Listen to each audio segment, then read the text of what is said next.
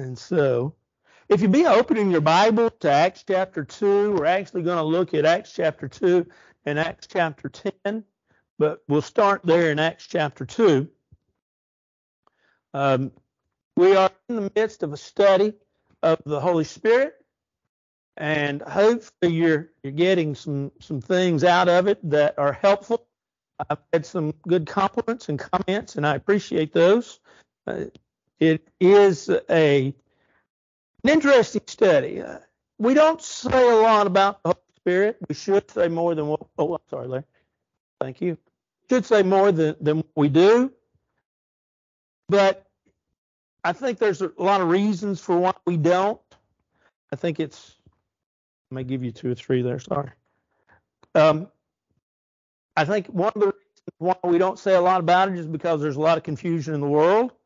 I think another reason is because we don't know everything, maybe, and and, and it.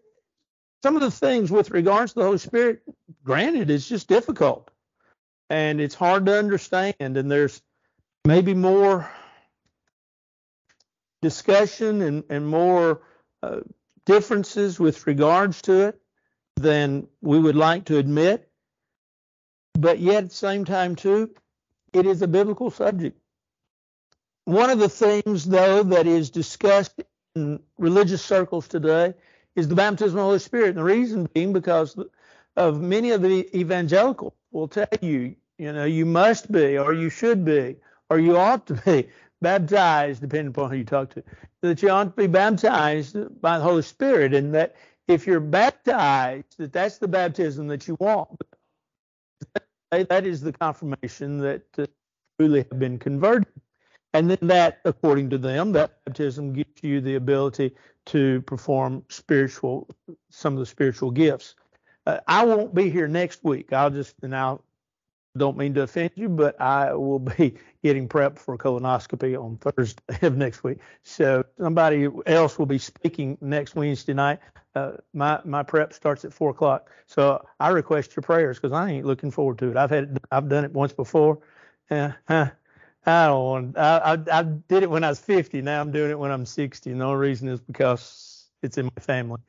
And I, but I got a good report at 50, so I got to wait 10 years.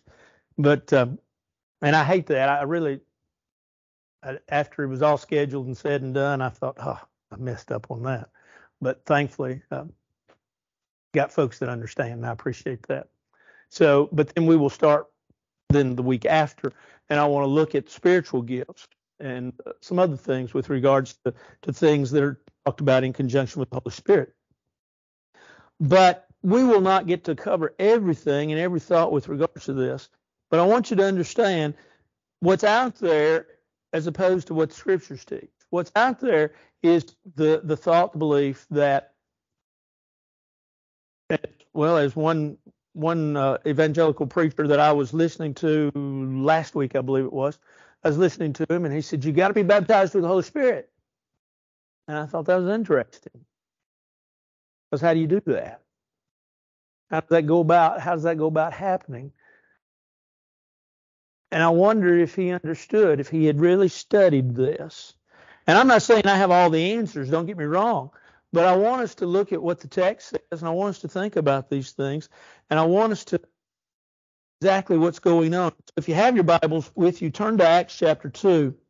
And some of this I'm just going to kind of run through very quickly because um, I need to finish it tonight and I don't want to bore you, but at the same time. There's a lot of things to catch with regards to this. When you think about the Holy Spirit, you got to understand that baptism of the Holy Spirit and indwelling of the Holy Spirit are two separate things. Two separate things. Baptism of the Holy Spirit only happened in, in Acts chapter 2 and Acts chapter 10. Now, there are those, yeah, even in our own brotherhood, uh, brother, I was reading Brother Jimmy Jividen. If you've ever read this book, I think you can find it like on Amazon or probably find it at McKay's every once in a while. Uh, Brother Jividen uh, did a tremendous work here entitled Alive in the Spirit, Study the Nature and Work of the Holy Spirit. Where Brother Jividen says that that there's a possibility that baptism of the Holy Spirit, based upon Titus chapter 3, verses 4, 5, and 6, uh, occurred more than in Acts chapter 2 and Acts chapter 10, but we only have it in Acts chapter 2 and Acts chapter 10. Now, some other things that he says with regards to the baptism of the Holy Spirit are, are worth reading, but uh, that's uh, that was an interesting thought. We only have it in Acts 2 and Acts chapter 1, and I'm not so sure that based upon Titus 3 that there were more, but Brother Jividen said his thoughts. He believed that there were. But in in both of them, what you have is a miraculous event that occurred with a purpose and a reason, and that reason being basically confirmation. Let's look at them. Let's think about it. In Acts chapter 2, we have what is called baptism of the Holy Spirit. Now, I wanted to, to catch a drift. When you begin in Acts chapter 2, we begin reading in Acts chapter 2, don't we? Matter of fact, uh, this month, month January, I'm reading this year uh, just select books, books that I want to focus on, and each day I'm just reading a chapter and concentrating on a chapter. And so I'm reading the book of Acts. And I was reading the other day Acts 2, and I thought, well, wait a minute. Let's think about this for a minute. Because it begins this way, and you can read along with me. When the day of Pentecost had fully come, they, who's the they?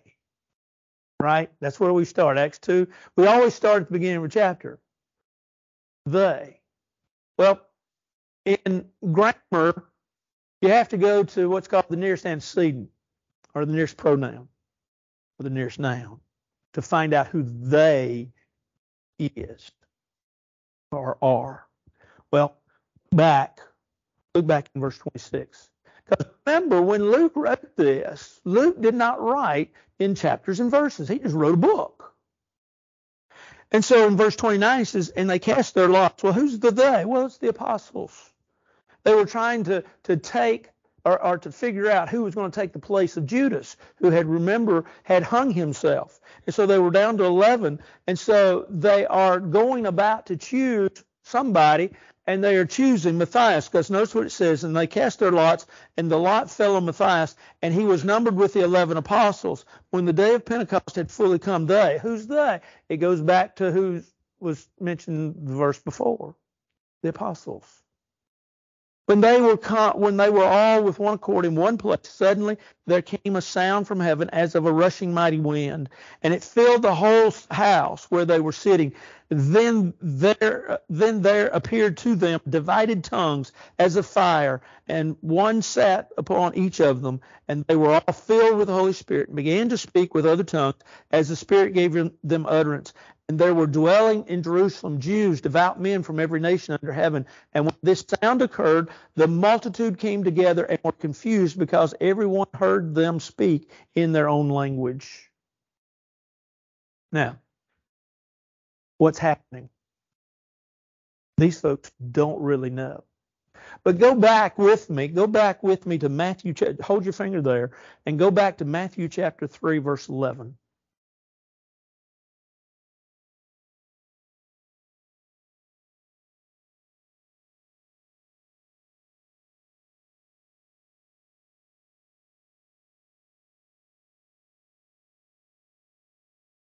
In Matthew chapter 3, verse 11, John makes this statement, or Jesus, or rather, excuse me, the statement is made. This is, remember, about the time that uh, Jesus is going to be baptized. And John is out preaching in the wilderness, and he says, I indeed baptize you with water unto repentance. But he who is coming after me is mightier than I, whose sandals I am not worthy to carry. He will baptize you with the Holy Spirit and fire. He's going to baptize you with the Holy Spirit. The promise then that's made there and made again. Now you go back to probably the same opening in your Bible. Look in Acts chapter 1. In Acts chapter 1, beginning in verse 4, and being assembled together with commanded them not to depart from Jerusalem. This is Jesus told the apostles, stay in Jerusalem. Remember now, he has died, he has resurrected, he has preached, he has been there walking among them for many days now, and he telling the apostles, I want you to stay in Jerusalem, but to wait for the promise of the Father, which he said, You've heard from me. For John truly baptized with water, but you should be baptized with the Holy Spirit not many days from now. Okay. Now, all of a sudden, in Acts chapter 2, we have what had been talked about by John in Matthew chapter 3 and what Jesus said in Acts chapter 1. In Matthew chapter 3, John made the statement that Jesus was going to administer upon the people a baptism of the Holy Spirit. In Acts chapter 1, Jesus tells the apostles, Stay here in Jerusalem, and you're going to be baptized with the Holy Spirit. In Acts chapter 2, that's what happens. They are baptized with the Holy Spirit. Now, let's stop right here and let, us make a, a, a side point. When we think of baptism, we think of immersion in water for the remission of sins, right? But there are some six baptisms mentioned in the New Testament. There's the baptism of Moses. There's the baptism of John. There's the baptism of fire. There's the baptism, uh, some even the baptism of Jesus as a separate one. But there's what we call Christian baptism, which would be the the um, the Great Commission baptism. You have all of these baptisms. Baptism just doesn't simply mean to dip, to immerse, to plunge, or to plunge under, but it has also the idea of to be overwhelmed, to be overtaken. And so this baptism, and that's the, that would be the Greek word. There's a difference between baptizo, to dip, to plunge, and baptism, tismo which is the, the, the noun form, which is being used here. And so he says, the promise, though, is that you're going to be overwhelmed with the Holy Spirit. Well, in Acts chapter 2, that's what happens. Now, I want you to notice, I want you to notice, notice a couple of things here. Notice, first of all, that the apostles are there gathered together. And notice, secondly, if you go down to verse 2 and verse 3, you all of a sudden you hear this activity that falls upon the apostles, the cloven tongues, the, the wind that comes about, the whole room being filled, and these men are able to speak in tongues. And then, look at verse 6. Then the multitude came together. The Holy Spirit only fell on the apostles. It fell on preachers. It did not fall upon others. Now, there are some that if you go back in chapter 120, and so some would say, well, it has reference to the 120. You got to go far back into that chapter to have reference to the 120. You've got a reference to to to Judas, who's not there. You've got a reference to the apostles. You got a reference to Matt, Matthias. And like I say, if you find a pronoun, you find its nearest antecedent that was before it, nearest noun we would call it, in order to understand who the pronoun's talking about. So who's they talking about? Well, verse 26 of the first chapter, we find out it's the apostles. Apostles gathered together, they're able to speak in tongues. Then the group gathers together and they hear. Now, this was not something that should have been, at least to the apostles, that strange. You might say, well, wait a minute. Anytime you can speak in tongues, anytime you can speak in a language that you haven't studied, you ought to be amazed. But they knew that it was going to take place. They knew that it was going to happen. Probably didn't know it was going to happen that day. Probably didn't know it was going to happen then and exactly how it was going to happen. And so they began to speak. And when they talk, if you go down to verse 17, you find out that one of the things that Peter tells them is that this is a fulfillment of Joel or what Joel said in Joel chapter 2, in which verse 17 and 18 it says, And it came to pass in the last days, says God, that I will pour out my spirit upon all flesh. Your sons and your daughters shall prophesy. Your young men shall, shall see visions. Your old men shall dream dreams. And on the men servants and maid servants, and I will pour out my spirit in those days, and, and they shall prophesy, and go on and, and so forth. You see all this. But this is said to be a fulfillment of what Joel promised in Joel chapter 2. And so the Holy Spirit came upon those individuals and they spoke in tongues. Now, we have a question. Why was this done? Well, think about who Peter was preaching to. He was preaching to the Jews, right? He was preaching to the Jews, and one of the things that they had to know was that God was willing to accept them through Christ. Imagine, if you will, for just a minute, that you're a Jew in the first century. You've heard about Jesus, and at least from a distance, you've not only heard about it, but maybe you've seen some things. You've gotten some reports of some miracles that he was able to do. You heard of some of his teachings, and you realize that even his life fulfilled some of the prophecies that your mama and your grandmama and your great grandmama had told you about. And you're beginning to wonder, you know, maybe there's something to this guy. And maybe there's something to his teaching. I wonder if he's right. And in my Jewish heritage and background and belief, I'm wrong. How can I come to God? Will God allow me to come to Him? Will God allow me to be saved? And the answer is yes. For really, what this is is a, an affirmation that the gospel's for all the gospel for the Jew. And they're welcome to it. Now, go on and notice that in as Peter, and I know you know this, so we're not going to spend just super amount of time reading this. But as Peter continues to preach, he preaches basically he preaches Jesus. Which I found interesting. I was reading yesterday, Acts 3. I kind of like the sermon in Acts 3 better than I like the sermon in Acts 2. Not to say that the Acts 2 sermon is not a fantastic sermon. Acts 3 is just kind of an interesting sermon. Much the same as Acts 2. But nevertheless, that's a sidelight. In Acts 2, when Peter preaches about Jesus and teaches about Jesus and tells these folks that that Jesus of Nazareth, whom they crucified, God's made both Lord and, and, Savior. And they ask the question, what must we do? What can we do? And Peter says to them, repent and be baptized in the name of Jesus Christ for the remission of your sins, and you shall receive the gift of the Holy Spirit. You say, wait a minute. Is that the same thing that they got in in in the first part of the chapter?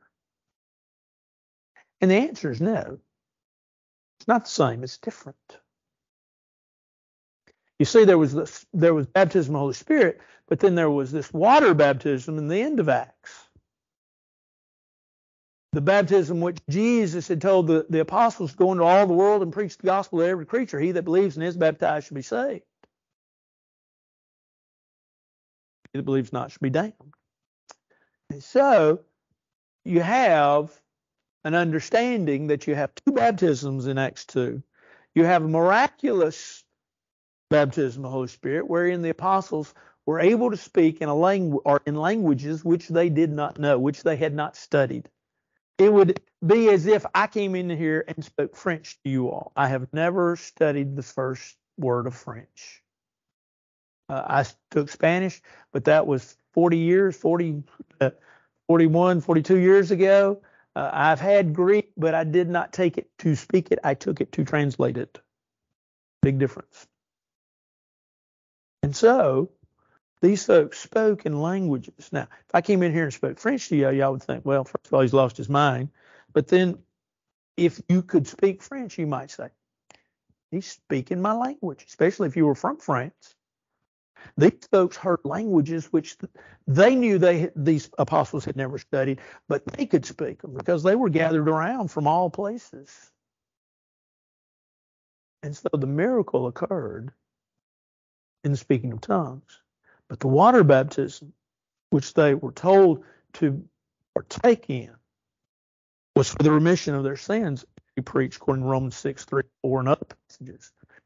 Different. Now, want you to note something that the evangelicals today will tell you that if you did not receive the Holy Spirit when you were baptized, now that's interesting because the Bible tells us in Acts 2:38 that we repent, baptized, we receive the gift of the Holy Spirit, and we confirmed here a few weeks ago in Acts chapter 5 that that gift had to be the Holy Spirit. But nevertheless, some of the evangelicals today will say, well, you've got to ask for if you didn't receive it at baptism. Well, there's a couple of problems with that. First of all, do you know the Bible never tells you to ask for the Spirit? Isn't that interesting? The Bible never tells you ask for the Spirit in order to receive it. The second thing is is that you got a problem. Look with me, and if hold your hold your place in Acts two, but go over to Ephesians chapter four. This is a passage that once you see it, you'll say, ah, I remember that. Unless you've studied it recently, then you could probably quote it to me. But in Ephesians chapter 4, Paul talks about how that uh, as a prisoner of the Lord, he said, I beseech you that you walk worthy of the calling with which you are called, with all lowliness of mind, meekness, long suffering, forbearing one another in love, endeavoring to keep the unity of the Spirit in bonds of peace.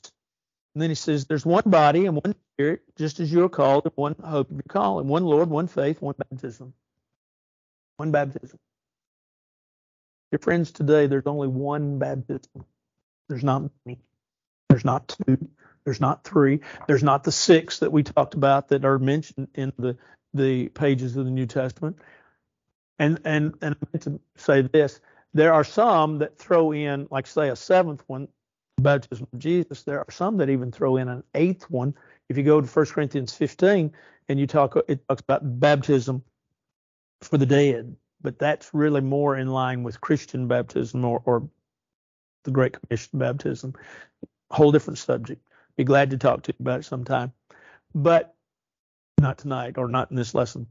But you, what you have here then is we need to know which one we need. Do we need the Holy Spirit baptism or do we need the water baptism? Because Paul says in Ephesians 4, there's only one baptism. We need the baptism which the Lord tells us we must undertake in order to be buried with Him, in order to rise up to walk as a new creature. And that would be the Great Commission baptism, water baptism, Christian baptism, ever how you want to frame it, whatever title you want to give it. That's what we need. So then we get back to Acts 2. Well, why what why why were they baptized? Why were the apostles speaking in tongues? in Acts 2, I think it was to confirm to the Jew that the gospel was for them. Any questions, comments, disagreements? Agreements. All right, well, let's flip over to Acts chapter 10. From Acts 2 to Acts 10, forward in your mind about 10 years some even say 11 years. So 10, 11 years. So there's there's been a lot of things happen. There's been a lot of water under the bridge, as the old saying goes. Now in excuse me, in Acts chapter 10, you have a second time in which Holy Spirit baptism occurs. Yes, promised. Again, Joel chapter 2. This time it's different. Let's, uh, we're not going to be able to read, but let me encourage you go back and read tonight when you get home or tomorrow, whenever your next uh, time of study is, read all of the 10th chapter and read at least the first 18 verses of the 11th chapter. It'll make more sense to you after I run through and butcher it. Hopefully, we'll get, be able to follow it. But uh, there was a man by the name of Cornelius, a certain, excuse me, let me read it as it says. There was a certain man in Caesarea called Cornelius, a centurion called the Italian regiment, a devout man, one who feared God with all of his household, who gave alms generously to the people and prayed to God always. Now, let's come to a conclusion about Cornelius. A good man, a religious man. We will find out a little later on in Acts chapter 10, wrong but still a religious man, a good man. He, he'd be like, you know, he'd be say like a neighbor. Maybe you got a neighbor that's not a member of the church. Maybe doesn't go to church anywhere, not religious, but he's he's a good guy. You know, he's fairly moral. He's a good neighbor. You don't hear or see anything out of him. Police aren't over at his house every while. He's just a good guy. He just doesn't believe the way you believe. Well, Cornelius is what would be considered then a Gentile. He's not a Jew. He's a Gentile. Remember, in in their way of thinking at that point in time, either Jew or Gentile. And he's considered he would be considered a Gentile. Good man. But he's he has a vision, and we're going to jump through some of this, like I say, and, and hopefully you'll go study. But he has a vision. And basically, uh, his vision is is you need to send some folks and they need to go find Peter. They need to go find Simon, he calls him, whose surname is Peter, verse 5. And so the next day they go out. he uh, Cornelius sends them out and they go and they find Peter. Well, at the same time, Peter has this vision. And, and like I said, beginning in verse 10, Peter talks about the sheet that comes down, the unclean animals that are on it. The Lord tells him to rise, Peter, kill and eat. Peter says, Oh, wait a minute. Oh, oh. I hadn't eaten anything that's unclean because Peter, remember, hmm, background, Jew. And so he says, Nah, no, no, I hadn't done that. And God says basically, look, look, look at verse thing. What God has cleansed, you must not call common. I hope to um, let's see on on Wednesday nights. This is Acts is actually the book I want us to study next. I don't want us to go bit by bit. It'll take me forever to get through it. You'll see how I'm going to develop it when we get there. But one of the things I find out here is that Peter is learning right here is that everybody is of value to God. Everybody male, female, black, white. Doesn't matter the color, doesn't matter the nationality, doesn't matter the gender. Everybody's loved by God. Everybody should be appreciated by God. And He is. And we should learn the same. We should learn to treat everybody fairly equally and with love and respect. And so Peter is learning that. And so look at verse 17. Peter kind of wondered about this vision within himself. Uh, he, he, wanted to know what it meant. Well, then Simon's ambassage uh, came, or Cornelius, excuse me, ambassage came and, and told Peter what they were sent for. And Peter says, Well, that's interesting. And Peter's beginning that together. Oh, got it. I see what's going on. And so Peter goes to the house and beginning in verse 34, it says, Peter opened his mouth and said, In truth, I perceive that God has shown no partiality, but in every nation, whoever fears him works righteousness is accepted by him. And the word which God sent to the children of Israel, preaching peace through Jesus Christ, he is Lord of all. And so he begins to, to teach Cornelius truth. He begins to talk about Jesus to him.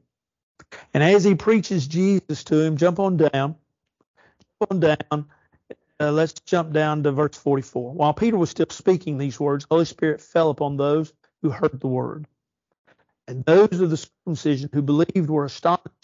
Many as came Peter because the gift of the Holy Spirit had been poured out on the Gentiles also, for they heard them speak with tongues and magnify God. Then Peter answered, Can any forbid water that these should not be baptized who have received the Holy Spirit just as we have.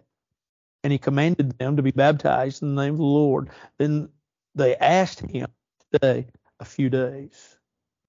I want you to notice a few things. I want you to notice the fact that as Peter was preaching, it says the Holy Spirit fell upon them. Those to whom Peter is preaching, all of a sudden they they have this baptism of the Holy Spirit and notice that it says that they too, verse 46, verse 46, spoke in tongues. They magnified God. And so then the question's asked, verse 47, well, what about water baptism, if you will, Christian baptism for them. Can any forbid them to be baptized? Well, who's the them? Well, it's these people, if you will, Cornelius, his household, but it's the Gentiles. You see, it's interesting, and, and like I say, I know I'm just running, flying through it, but I want you to catch the gist of all that we're saying. Peter preached first gospel sermon in Acts 2. Peter saw all the apostles speak in tongues. He understood the idea of speaking in tongues. He now understood the gift of the Holy Spirit. He understood the difference between the gift of the Holy Spirit and water baptism. Now he sent Cornelius. Cornelius is a good man. Cornelius is a Gentile. And Cornelius, as he's talking to him, all of a sudden, here's these guys, they're able to speak in tongues. And Peter says, Oh, we got a match because the vision that I saw God was trying to teach me, and what God was trying to teach me is that everybody's equal.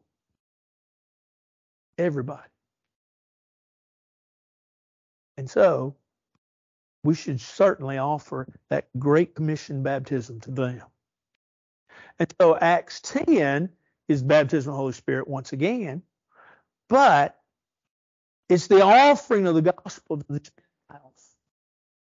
So, in other words, in the way the first would look at it, this is the confirmation that we be baptized for the remission of our sins. But it came about because these folks spoke in tongues, all of a sudden Peter realized they're all right in the sight of God. Now, you might say, well, preacher, really? Really? Yeah. Well, keep reading in the 11th chapter. All of a sudden, then, there are those Jews, if you will, there are others. That, notice what it says uh, in, in chapter verse 1. Now, the apostles and brethren who were in Judea heard that the Gentiles had also received the word of God. Now, basically, it preached to the Jews. Now, all of a sudden, we're opening up to the Gentiles. And when Peter came to Jerusalem, those of the circumcision contended with him. In other words, come over here, buddy. We need to talk to you. What do you mean allowing these folks in here? What do you mean allowing those Gentiles in? What do you mean teaching those Gentiles what to do to be saved? How in the world could you do that? And so that begins the conversation. Peter then explained to them what he had, what he saw with regards to vision and what happened. Jump on down then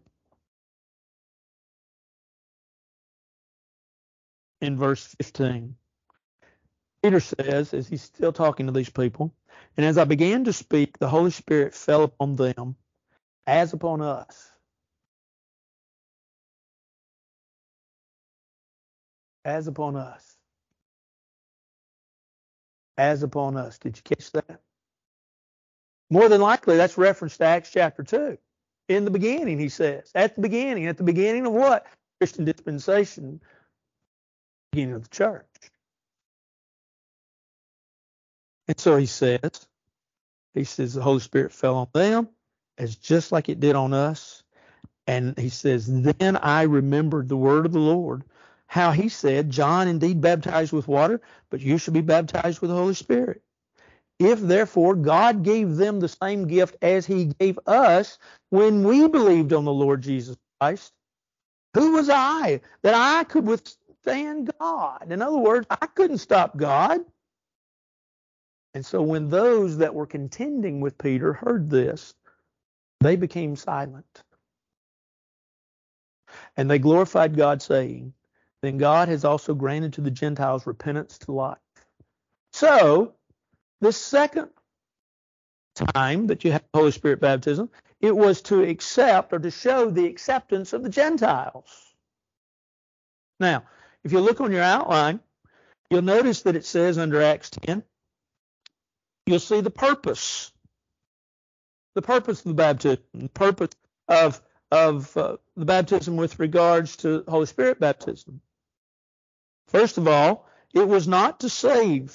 If you look in, in chapter 10, verse 6, and you look in especially verse 46, you see and realize that the Holy Spirit baptism there was not to save them. It was not until Peter told them, with regards to verse 47, as he calls it, water. Who could forbid water that these should be baptized? It was not to give them faith. Faith comes by hearing, right? Romans 10, verse 17. And if you look in, chapter 11, verse 15, you, you see the answer to that. It was not to purify their heart. Uh, go over, read chapter 15, verses 8 and 9. It was to make Cornelius acceptable to God. That's the purpose. And it's the purpose of, uh, of, with regards to Acts chapter 10. So, from a positive standpoint, the Holy Spirit came to bear witness uh, that the Gentiles did not have to become Jews in order to become Christians, Acts 10 47 and 48. But it happened to prove to the Jews that they could become, that the Gentiles could become Christians. It was also to help Peter to try to bring the Gentiles to the church because now, now we get, now we understand why when we studied the book of Galatians, there was a meeting of the minds with regards to Peter and Paul, and who, when Paul came to Peter, Peter told him to go what? Go preach basically to the Gentiles, right? Well, how could he tell him to do that? Because Peter, if you will, had seen and believed that the Gentiles could hear the word of God. So now all of a sudden we see the synthesis of the story and how it fits together. I know just kind of passed over it because I knew I was coming back to it. And so it's revealed really that there's no difference between the Jew and the Gentile. So today, does Holy Spirit baptism happen? No. Well, how many baptisms are there today? Well, we've already covered that. There's one. There's only one. Baptism for the sins. Yeah, Lynn.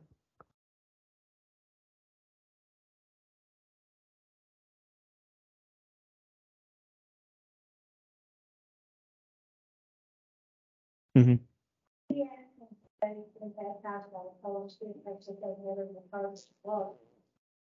And so when he proceeded, he was asked them to be. Yeah, had they received the the question was had they received the Spirit, if I'm mistaken. Right.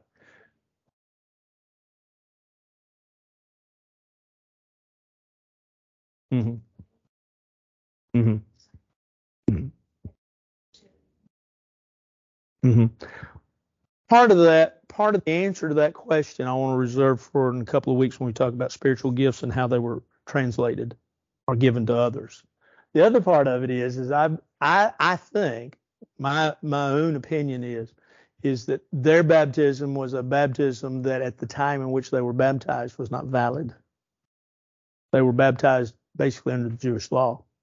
They needed to be baptized under the Christian dispensation, Christian law.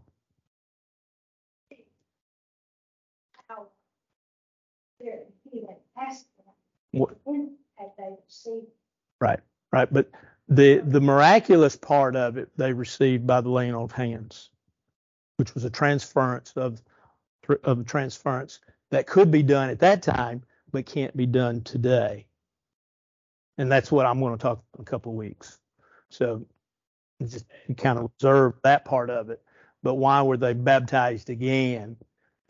My thought is if you go read all of the context in the text that they were baptized but it was probably uh, uh, not probably but it was the, the baptism that they were baptized with was not at the point in which they were baptized a valid baptism.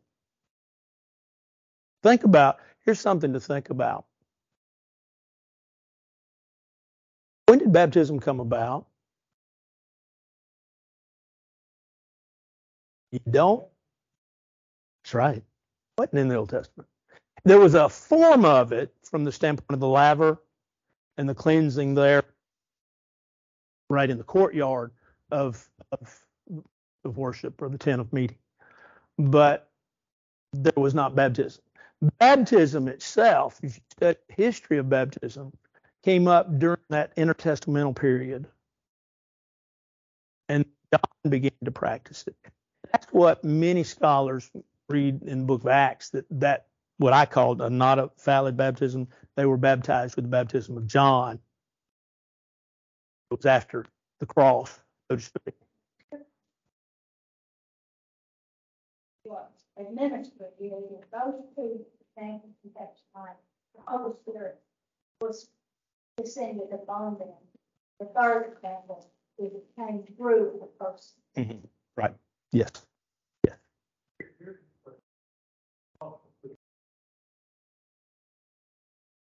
Very, very, good, very good. Yeah. Except Verse seventeen, where Peter says, they received the same gift Mhm. we received Mhm. when we believed in Mhm. Jesus Christ. Yeah. Oh, now, oh, oh, wait a minute.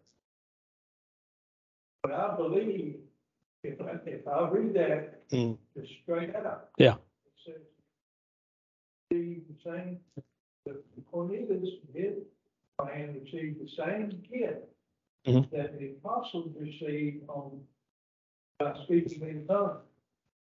And Peter said, we got it, we believe. But I believe this is Pentecost. Yeah. Yeah.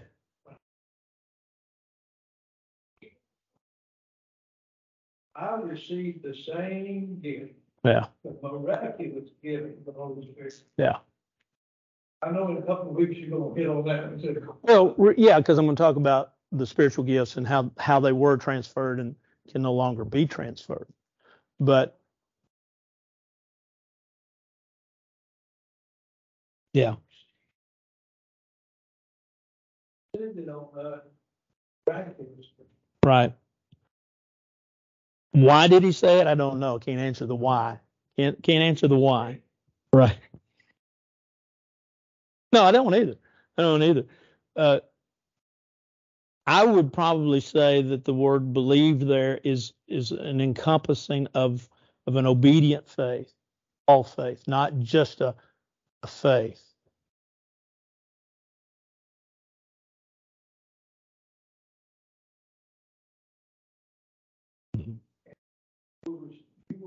Endowed with power from on high. Mhm. And we received that gift on the day of Pentecost. I believe exactly what he said was coming true. That- that- Yeah, that's a great answer. Yeah.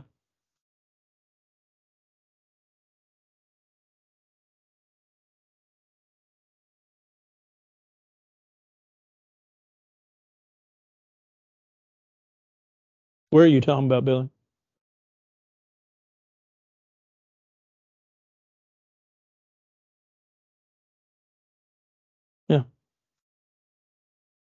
Probably it was probably if you go back well well well go back well go back to verse 4 talks about the baptism of John. And so probably what happened is that they were baptized with baptism of John when the Christian dispensation or Christian baptism because because understand one of the things we have to understand is that by the time you get to Acts 19, ooh, time wise, I'll have to go back and look it up. But there's been 12, 14, 14, 15 years. Hmm. Don't hold me to that. I'll have to go back and look it up. But let's say 10. There's been over 10 since Acts 2. And so there's been a period of time and evidently, what was happening was that these folks were baptized in the baptism of John, probably in that time frame when they should have been baptized with the Great Commission baptism or Christian baptism, however how you want to term it, and they were not, but they were baptized with the baptism of John.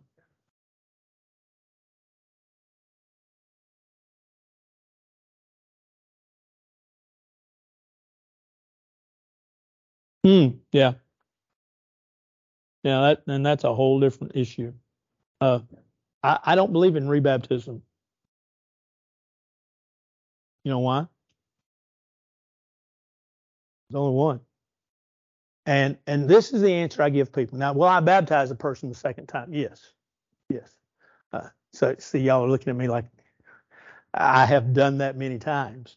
Uh, because, and here's the reason: because if you were baptized the first time, scripturally. You wouldn't have to be, but let's say for whatever reason, and, I will go on and, and